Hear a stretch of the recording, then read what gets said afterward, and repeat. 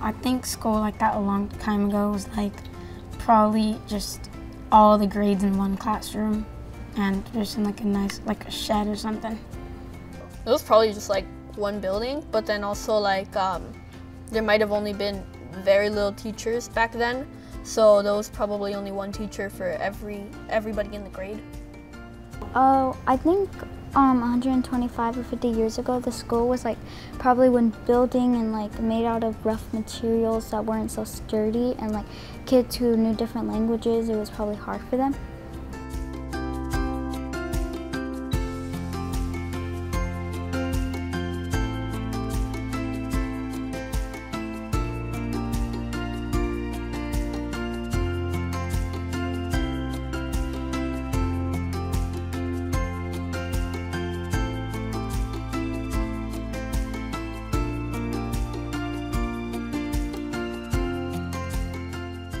What distinguishes the Sunnyvale School District is certainly outstanding families and the students that they send to us and their real commitment not just to their own students but to the greater community and to the other students in their schools.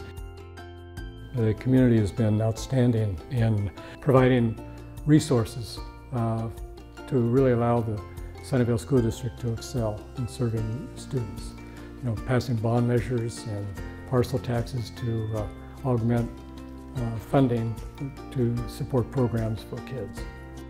So one of the, you asked about memories, one of the fun memories is, is the opening of the Columbia Neighborhood Service Center. That partnership that leveraged funds from the city and a private donor and also a business partner, AMD.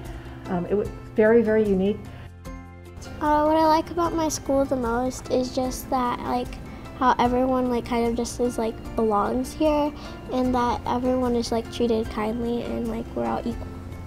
I remember when they would coming into the office asking if anybody spoke Spanish and I would say sí and I would see their expression on their face being supported.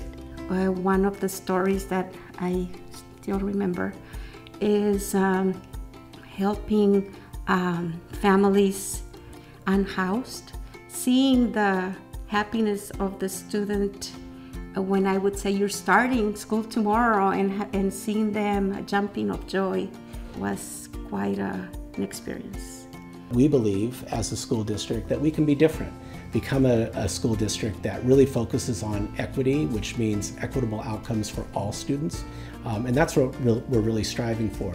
I came to the district and I noticed that there were no computers uh, on, like in the business office. And I talked to the controller at that time and she says, yeah, I think they just clutter up the office, so, so we didn't have computers. And so, you know, going from that mindset to what we have today, uh, you know, where we have just total access to, to technology to support learning, and uh, uh, that's probably the, the biggest change all of these factors that used to be seen as very much extra, and now we see them as integral into the experience for students. And really, in the end, students getting strong academic results. In another 125 years, maybe uh, the school might be like, if you're sick, you could like hologram into class or something. I just think like by then we wouldn't like have to go to school. like your brains could just go there for you. As I think about a legacy, I hope it is around just valuing people. So first of all, valuing the students um, that we have. And by that, I mean really getting to know them as individuals, um, as members of family, getting to know their families, appreciating those, those people as individuals for their differences and for their similarities. Just to have a human touch, a human look at the work that we do. Um, ultimately, that's what's going to be make a difference for our students and ultimately for our community as well.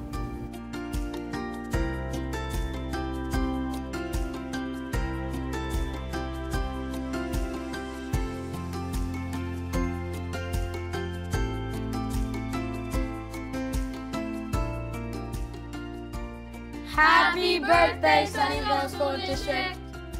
Happy 125th birthday, Sunnyvale School District. Feliz cumpleaños, Distrito de Sunnyvale. Happy birthday, Sunnyvale School District. 125 years looks great on you.